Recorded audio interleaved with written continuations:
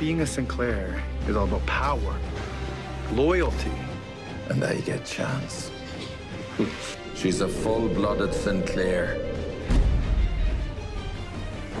Tonight, my family will be gathering for their annual feast. You will be our chef. You will cook us a most exquisite meal. And you will poison the host. Chef! Of having the first taste.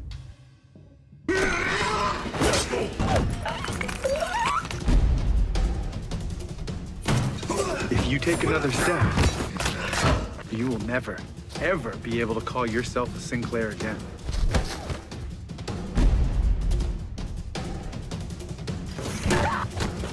I do not see the world. I watch it.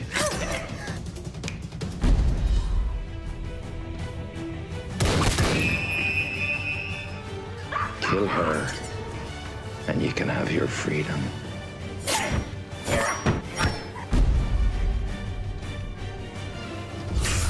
You monsters!